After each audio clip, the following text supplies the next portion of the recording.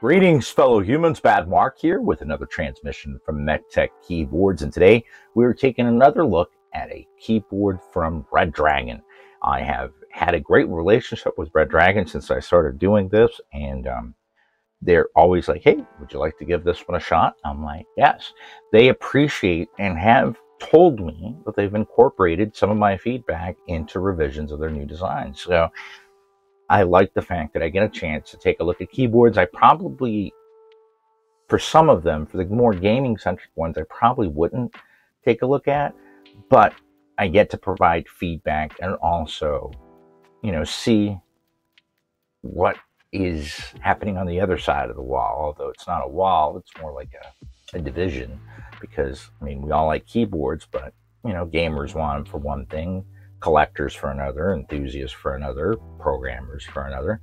So I do like the chance of being able to get my hands and, and be able to test all these different keyboards. Now, obviously today we are taking a look at the Yama, which is a full-size keyboard and has a number like 1920 different macro switches. So there's a lot that we can do with those extra switches. It looks like we have a rocker um, roller for volume control and it looks like it's RGB, not rainbow, though it does look like it's a connected cord.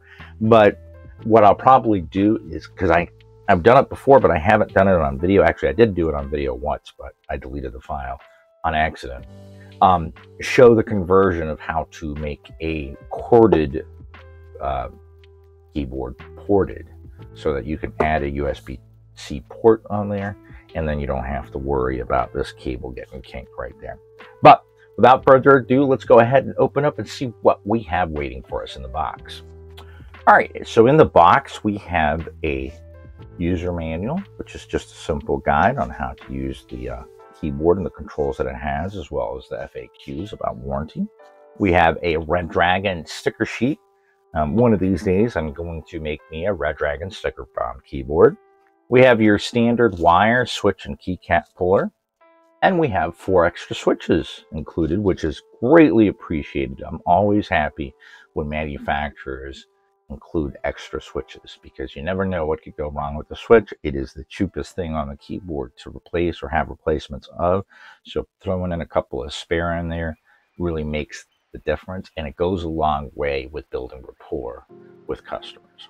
All right, it's not lubricated, though on most gaming keyboards there they come non-lubricated but I can't tell if it's a clicky or a tactile. I'm pretty sure it's a clicky, but I didn't quite see the click jacket, so out of curiosity, oh no, it's a tactile. Huh. Got a very sharp bump right there, but adding some lubrication to this is going to make a big difference. But it's a little bit, I'd say it's a medium tactile. It's, it's not quite as light as a brown, but it's just only a tad stronger than a brown. And yeah, because there is no lubrication, there is ping with the switch. And here we are with the Redragon K550 Yama. And let me tell you, this thing is a beast. There's a reason why it comes in that big box. Now it does have what feels like an aluminum top here. Let's see. Yeah. So technically, I guess we've got an aluminum plate because that's, yep, that's where the switches are going into. Very interesting indeed. Aluminum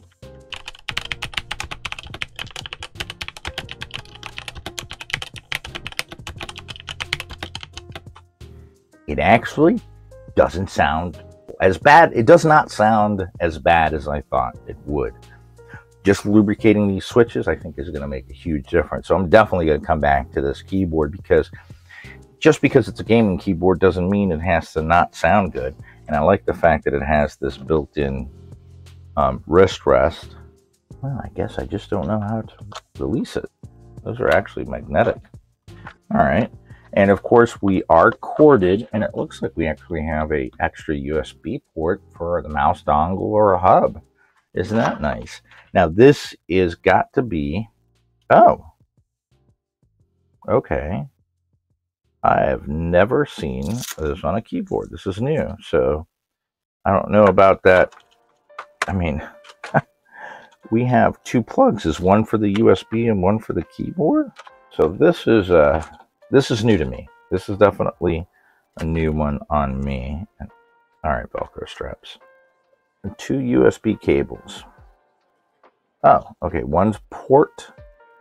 Okay, it is what I thought. So this is basically just an extender cable for that port, but we can plug just this one in, and that'll be for the keyboard. So let's make sure we can do that. All right, so there we go. There we are with the RGBs on, and it's looking quite nice. I honestly think that just lubricating the switches is going to make a huge difference. Oh, we do have kick out feet, but they're side kick out feet. So we're only going to have two different angles here. The design on this, I'm just, I mean, I guess because I don't usually buy gaming keyboards, it's just like, wow.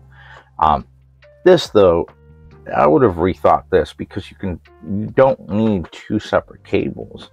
Um, I mean, they could have just put a hub in there and then actually plug the keyboard on the inside to one of the hub ports. And that, that would have been that.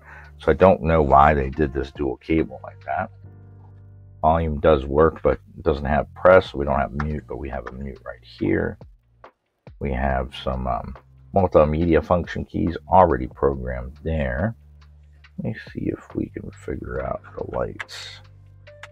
Yep. The cycles us through the colors. Well, we definitely have some bright RGBs. Let's see what we have under here. Oh, hmm. so this might be an older model, and I'm guessing I, I don't know because I don't keep up with the more gaming centric models, though I really think I should. Um, this one is still using Outemu or Mill-Max style hot swap sleeves not sockets. These are sleeves. These are only going to work with certain uh, manufacturers. I mean, just I have them handy. Um, the Leobog uh, Gray Woods, they are also three pin and they have the nice skinnier legs. So these will actually will fit in here. Did I speak too soon?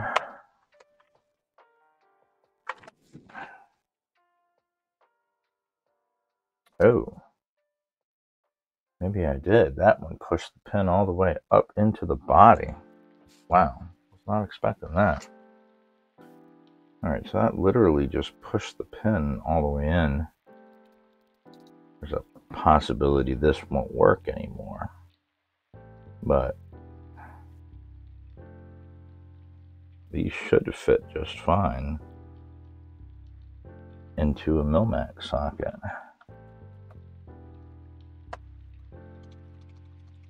Nope.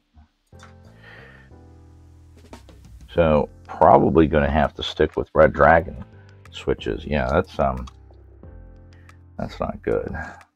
Thankfully, Redragon has put out some decent switches, so at least there's a good choice of switches. But um, this tactile, honestly, isn't that bad with a little lubrication. I think it'll it would perform just fine. Let's check out these stabilizers.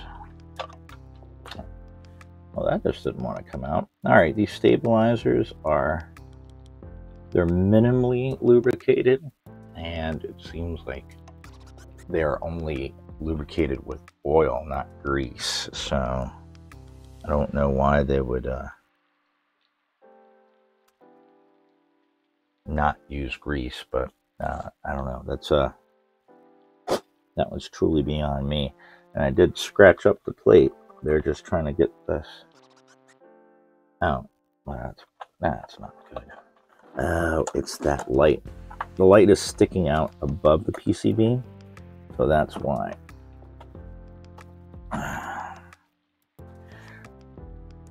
This LED is not surface mount. It is literally sticking out. So that's why stabilizers had a hard time coming out and going back in. But, go. Locking back into place. And obviously it is north facing and only three pin compatible with the, yeah, that one works fine, but the um, other switch did not. Surprisingly, these stabilizers don't sound awful. Um, now, there doesn't seem to be much uh, dampening in here whatsoever, sounding pretty hollow. Now, I do know this uses the Pro version of the software, so the Pro version will allow you to map a function layer. Though since we're on a full size, I mean, I'm not saying you won't need function layers, but full sizes usually you can just grab, plug in, and go. You don't have to worry about it. These macro keys, you can program these to do anything, and you can actually um, I haven't gone through the process on this keyboard, but basically it's a, I think it's press and hold record, do what you want to do, then press and hold record again, and then press the key that you want it saved to, and you press, press and hold, or it might be different. I, I, it's, I've done it on so many keyboards now that I forget, but I know Redragon does have a guide on their website for all their keyboards on how to program from the keyboard. I personally like to program it from within the um, software itself, but sometimes you're on the fly. Hey, I want to add a new one. Um, it would be nice. I know it kind of sounds silly, but maybe like a little whiteboard you could pull out and then write down what you have what mapped to in case. But that's neither here nor there. Or little sticker, whiteboard stickers that you could put on top. That's just me. Um, they are uh, guess they're called soft buttons, but they're hard. So some of these already seem to be programmed into but like screen maximize and minimize and stuff like that. So nothing too serious. So we do have these buttons and I'm going to assume they're probably connected to tactile buttons. They're not actual switches. Only the actual keys are going to have switches. We do have, like I said, the uh, purple dustproof stem uh, medium tactile switch, uh, which is is all right. It would be a lot better if it was lubed. We do have what appears to be ABS shine through keycaps in the OEM profile. Um, because it is north facing, they do come across quite nice. I personally, I'm not the biggest fan of this uh, futuristic font, um, but I do like big ones. I wish they would put bigger legends on here and just let them shine on through. Um, I'm also more of a fan of keeping the same caps or capitalization on the modifiers. But again, these are just little nitpicks of mine.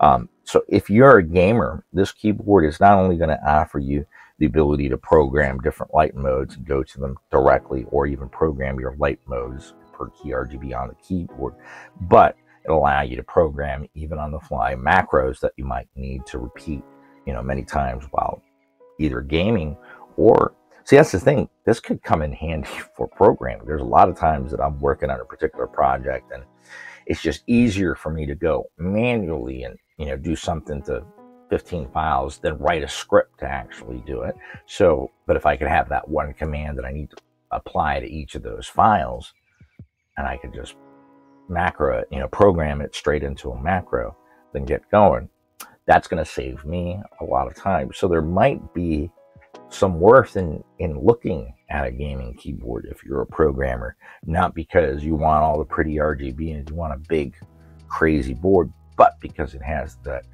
on the fly macro programming that could make that could actually save you time on repetitive tasks. All right, yeah, so to record, like I said, you press the record button, you do the macro or what you want to repeat. You press the key that you wanted to save it to, and then you hit record, and that's it. The macro is saved. So that's a pretty easy and on the fly way to do it. Um, like that, it has the medium control, media control, and it has the 12 um, programmable G keys. These are already programmed and are for something already. And again, as I said, this uses the pro version of the software, so it does allow you to map function layers and have your different profiles. This is an interesting full-size keyboard from Redragon. Um, like I said, I think that because of that on-the-fly macro programming, I'm going to give it a shot. I'm going to see if I can actually use it and if it does increase my productivity. I think that having those 12 macro programmable on the fly keys would or could be beneficial to those of us that spend a lot of time coding and sometimes are like, all right, should I spend a day writing a script that'll take care of this for me in five minutes?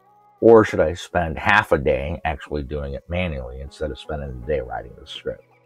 If this can save you time on typing out and punching out repetitive tasks, then that could save you some money. And as we all know, time is money. Anyway, I do hope that you enjoyed my quick overview of the Redragon K550 Yama. Um, it is a full-size keyboard with a rocker with 12 macro keys. Um, I will come back to this keyboard because I want to see how good I can make it sound because it is pretty feature rich. Um, and as far as, I mean, I don't know too many custom keyboards that have the macro keys, but that's neither here nor there. I do hope that you enjoyed the review. I'm going to leave you guys with a sound test of this keyboard stock. If you have any questions or comments or anything that you'd like for me to take a look at when I do come back to it, uh, please leave a comment down below. Throwing me a thumbs up or subscribe really does go a long way. And if I didn't earn that, please let me know what I can do to earn that thumbs up. Anyway, I want to wish you all an awesome day.